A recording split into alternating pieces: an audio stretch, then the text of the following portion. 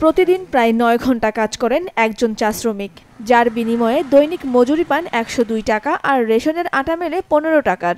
সেই হিসেবে চা বাগানের স্থায়ী শ্রমিকদের দৈনিক মজুরি পড়ে একশো সতেরো টাকা। তবে পরিবারে বারো বছরের উপরে সন্তান থাকলে মেলে না রেশন। আর অস্থায়ী শ্রমিকদের নেই রেশন সুবিধা। দৈনিক একশো দুই টাকা মজুরিতেই সন্তুষ্ট থাকতে হয় তাদের।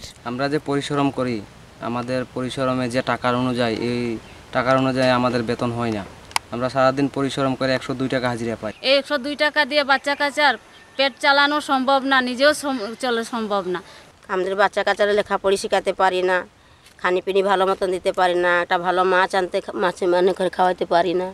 এমন মজুরি বৈষম্যের শিকার হবিগঞ্জের তেত্রিশটি চা বাগানের সাতাইশ হাজার সতেরো জন স্থায়ী ও এক লাখ দশ হাজার অস্থায়ী শ্রমিক। সরকার যে উদ্যোগ বা এসডিজি নিয়ে চিন্তা ভাবনা করছে যদি মনে করেন আমরা এই মজুরি হয় তাহলে মাননীয় প্রধানমন্ত্রী কোনোদিনই এই টার্গেট ফিল আপ করতে পারবে না।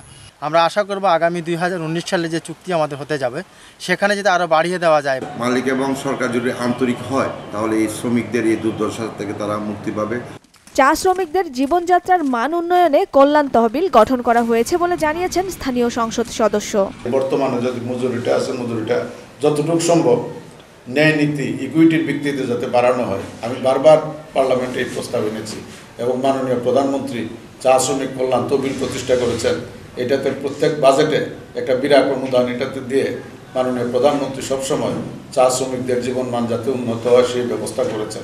খাদ্য বস্ত্র বাসস্থান শিক্ষা ও চিকিৎসার মতো মৌলিক অধিকার নিশ্চিতে দ্রুত মজুরি বৃদ্ধির দাবি জানিয়েছেন জেলার চা শ্রমিকরা।